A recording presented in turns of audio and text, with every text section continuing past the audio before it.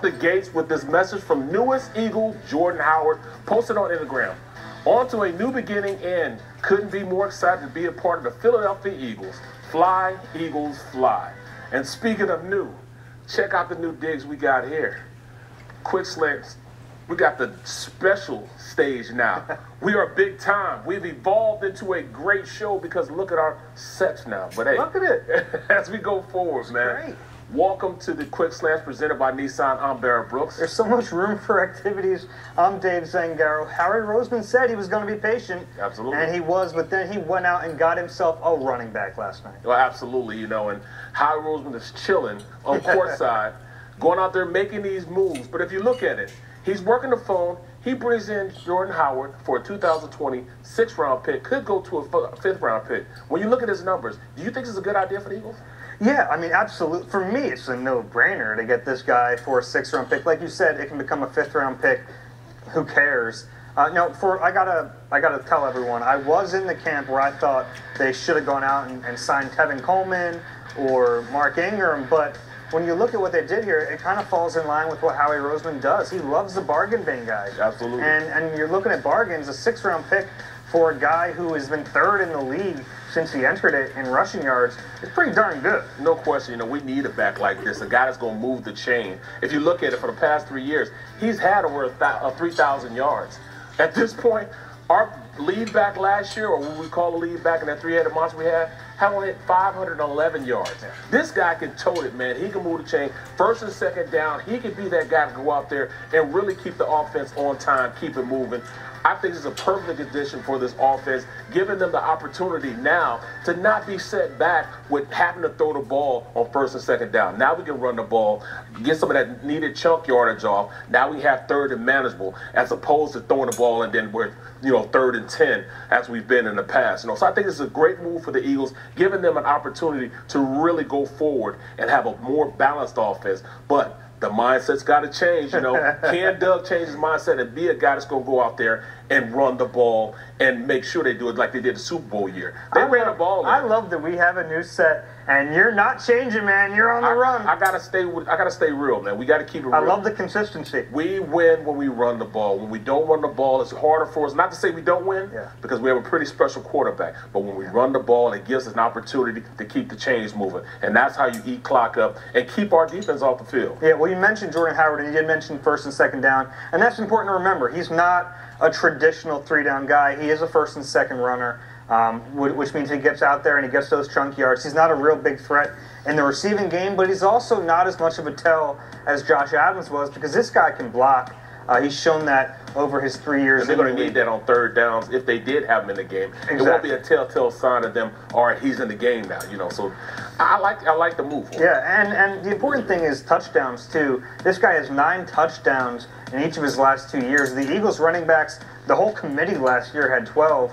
They got to find a way to get in the end zone, and this guy has been pretty consistent with doing that in his career. I think it's a good fit, and for what they gave up, it's, it's no brainer, right? Well, you know, I'm looking at this, man. I don't think it's a no-brainer. But why did Chicago let him go? We understand that another man's junk is another man's treasure, why would they let a guy like that go? A guy that's proven the fact that he can go out there and be consistent at running the rock. Well, I think they already decided they weren't going to commit to him long term. He has one year left, and the Eagles get him next year for just over two million dollars, which isn't a ton of money. They, they have all, yeah. over twenty million in cap space before the move, so they can fit him in. And, and he kind of got unhappy with his role. They took away some playing time in favor of guys like Tarik Cohen, um, and and they said an impact player. he certainly is. Um, the one thing that's a little troublesome is Matt Nagy couldn't figure out a way to use him, and obviously Nagy and Pederson come from the same tree. Right. Cut from the same cloth. But remember, the Eagles found a way to use LeGarrette Blunt a couple years ago, and no one thought he fit in the offense. I definitely didn't think he was going to fit. Exactly. So um, we, they've already shown, the Eagles have shown they can find ways to get these guys involved, and, and I kind of think they're going to find a way to make Jordan Howard productive in this offense. Well, they're not going to have to work too hard because he really is a good running back. He's a good player, and he can go out there, like I said, move the chains, and we were missing last year. Yeah, and he's not going to have to do it all on his own. The Eagles still have a few other running backs on the roster who've shown some flashes. Corey Clement, Wendell Smallwood, uh, Boston Scott, Josh Adams. Those guys are still there, which leads me to this question. Are they going to draft a running back? Do they still need to? And what round makes sense to you? Well, you know what? They- They've always had the thing where they're going to go up and not draft by needs. You know, when they did last time they did that, they got Marcus Smith. You know, a guy that really couldn't go out there and fulfill what they needed from the defensive line standpoint as far as being an edge rusher. So I think they're going to stay kind of what they've been doing and go out there and draft the best available player. So if you look at that, I'm talking around the fifth round, maybe the sixth round, and a guy that would fit r- real good is a local prospect, uh, Ryquell Armstead out of Temple.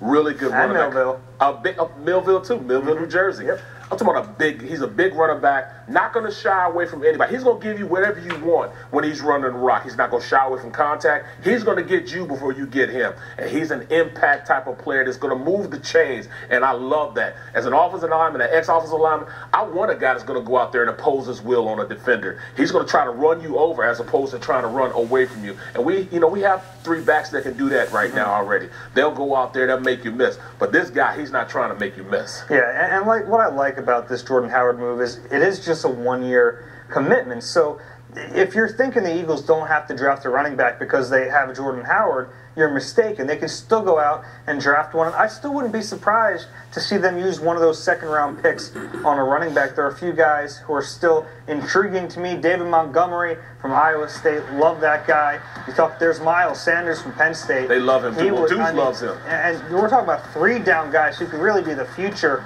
of the team, and then you can use Howard as kind of a stopgap one-year player, and then Darrell Henderson from uh, from Memphis is another guy who makes sense to me.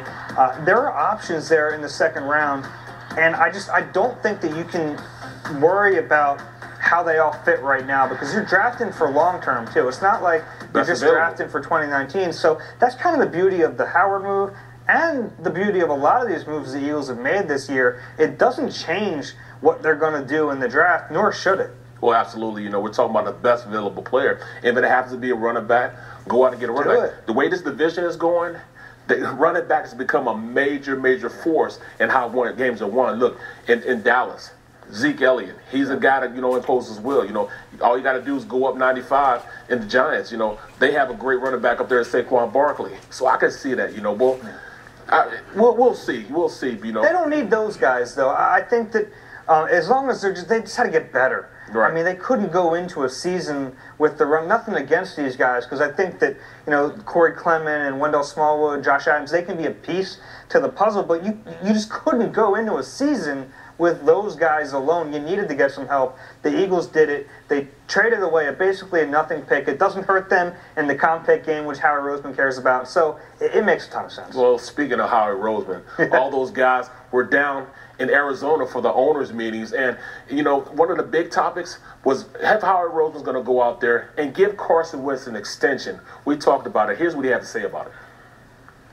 we have a quarterback that we want to pay, that we want to extend long term to, and how we're going to build our team with that player, which is exciting for us. I mean, we want to have a team led by a franchise type quarterback.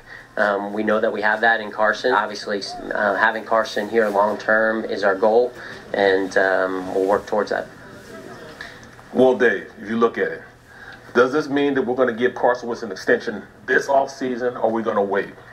Well, you know what's funny? You know, Howie Roseman said that on his own, unprompted, Right. at the owners' meetings. And just a, a month ago, I was at the combine and I asked him about preparing for this Carson Wentz contract, and he didn't seem very interested in Right. talking about it then. And then, you know, a month later, magically, that's all he wants to talk about.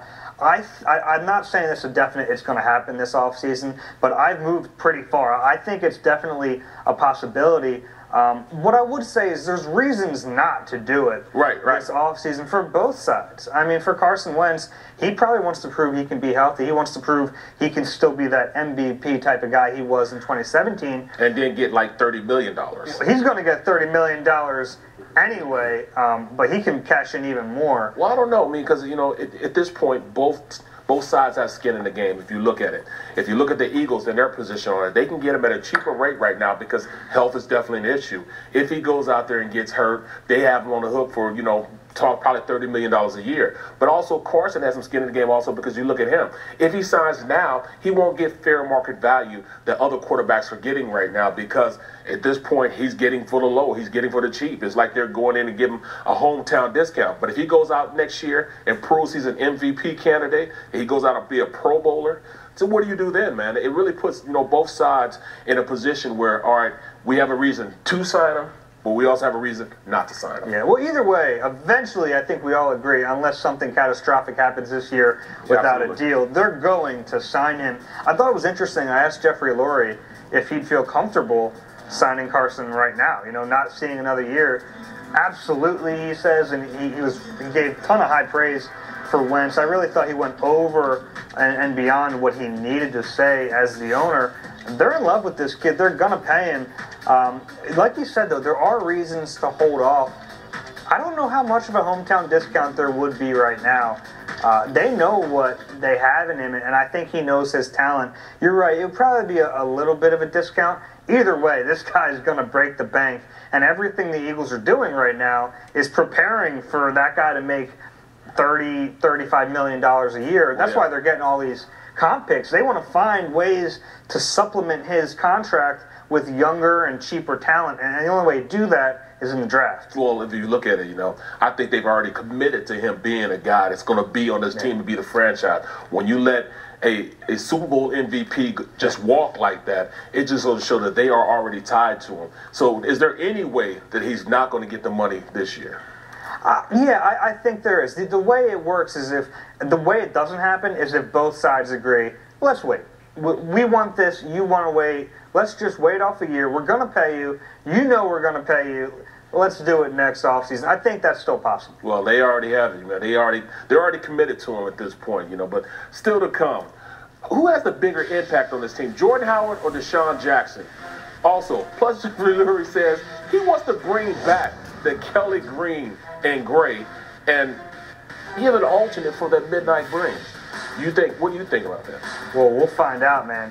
We're Well- going to go head to head on this one. Oh, well, we definitely have different sides of that on Quick Slam. We'll get back.